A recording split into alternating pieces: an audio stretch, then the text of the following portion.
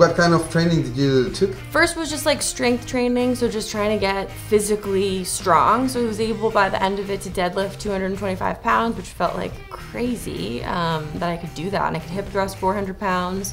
And then like three months before we started shooting, on top of that training, so I was training like four hours a day. I'd do that, like go home, take a nap, and then go to the stunt gym, and then I'd do like two hours of fight training, which was like very various things like learned some taekwondo kicks, learned a lot of judo throws, boxing, how to throw a punch, like That's all of that stuff. Like, and had to start from scratch with all of that. Had no idea. Had no idea how to do any of it. And was also very scared too. You feel very timid at first, and now I'm like totally over that. I've been punched in the face a couple times, no biggie.